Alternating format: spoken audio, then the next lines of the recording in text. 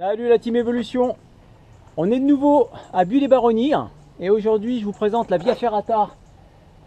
Euh, ça s'appelle la Cascu et puis euh, le nom en patois c'est euh, la Rompocchio. Voilà.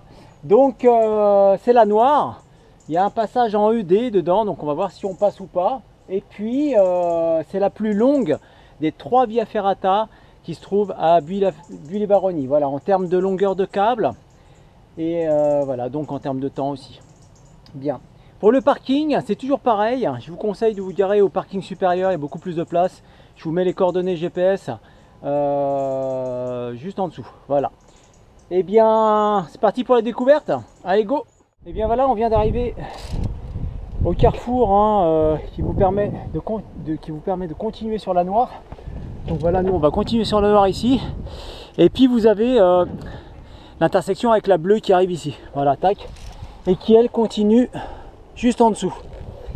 Voilà, sinon dans la première partie, euh, c'est vertical, mais euh, ça passe euh, plutôt bien.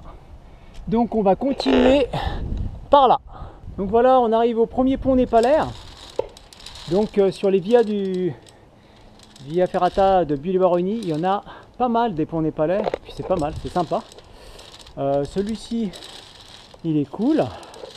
Et on surplombe le pont népalais en fait euh, de la voie euh, de la Via Ferrata du tracé bleu, voilà juste en dessous. Et nous on va continuer par ici jusqu'au fond, jusqu'à la passerelle en bois là-bas, au fond. Voilà, on continue gentil. Donc là bien sûr on est hors saison. Hein. Là, euh, vacanciers, il y en a moins, beaucoup moins. Et on est tout seul sur la Via Ferrata. Et puis voilà, on bascule côté sud-ouest. Pas pour longtemps. On va rester sur cet éperon. Et ensuite, emprunter cette passerelle. Voilà, on, vient de prendre pied sur, euh, le pont. Euh, belle passerelle en bois là. Mélange de câbles et de bois. Bien confortable juste à marcher tranquille.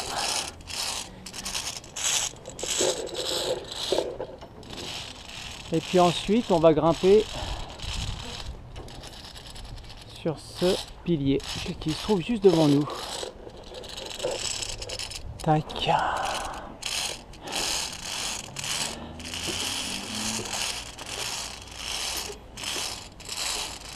Alors, je sais pas combien il fait en mètres, c'est pas indiqué.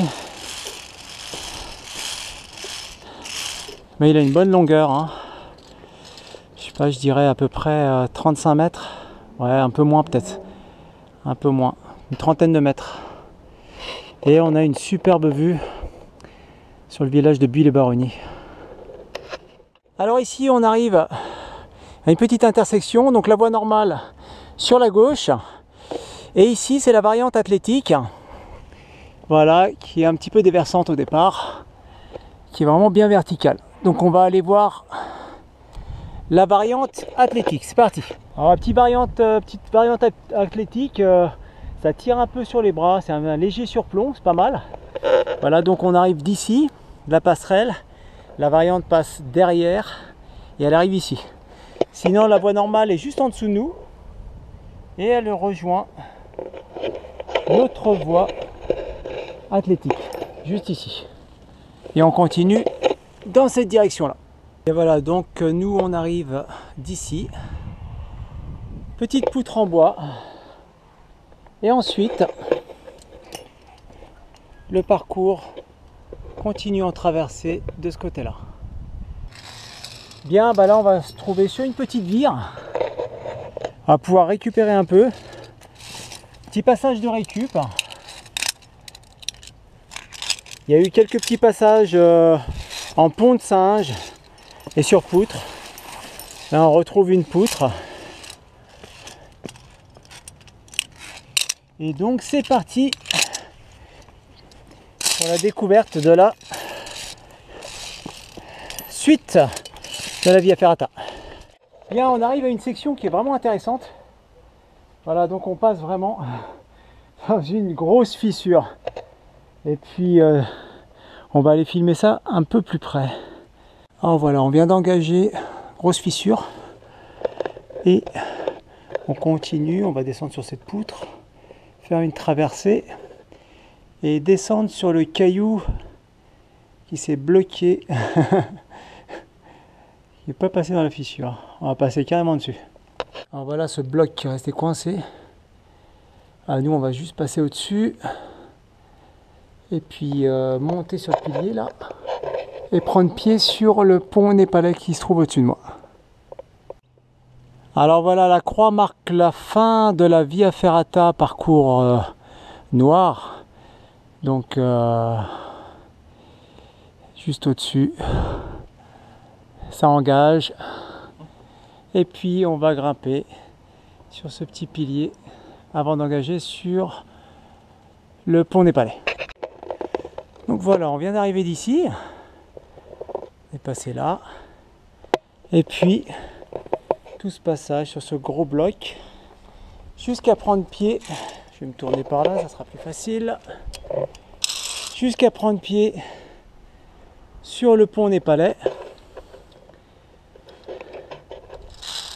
C'est le dernier, euh, dernier passage aérien. Et ensuite, là où il y a le monsieur en face, on rejoint la croix et ça sera le terme de la via. Ensuite, ça sera que de la descente en commun avec, euh, avec la via ferrata parcours rouge, la coriace, juste sur ma gauche. Et là, c'est sympa parce que une magnifique vue des deux côtés. Que ça soit sur notre droite avec le mont Ventoux là-bas au fond. Et que ça soit sur notre gauche avec derrière moi Bulle et Baronnie et tout le maquis de ce côté là c'est vraiment super. Et bien voilà on arrive au terme de ce pont népalais on finit presque la vie en coucher de soleil on a encore de la marge. Ensuite petite grimpette sur le sommet. Et il ne nous restera plus qu'à amorcer la descente. Et eh bien nous voici arrivés au sommet hein, qui, euh, qui, marque euh, on va dire la fin de la via mais c'est pas tout à fait la fin de la via parce que il nous reste encore le chemin de retour qui va être en commun avec la descente de la, de la via ferrata rouge, la coriace, voilà, et qui va nous emmener à peu près euh, en 30 minutes maxi, 20, entre, entre 20 et 30 minutes au parking, tranquillou. Et eh bien voilà, bah écoutez, j'espère que cette euh, découverte assez rapide hein, euh, de la Via Ferrata du tracé noir de Bulle et Baronnie, qui est la plus, la plus difficile, la, plus, la plus longue aussi en métrage hein, linéaire, vous a plu.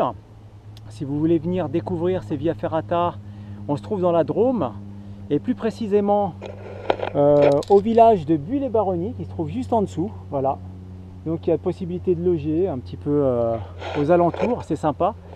Et puis vous avez le célèbre euh, Mont Ventoux qui se trouve juste au fond là-bas. On devine la grosse antenne. Ah, où le Tour de France des fois passe par ce sommet. Voilà, voilà. Bah écoutez, je vous laisse et je vous dis à la prochaine. Arvipa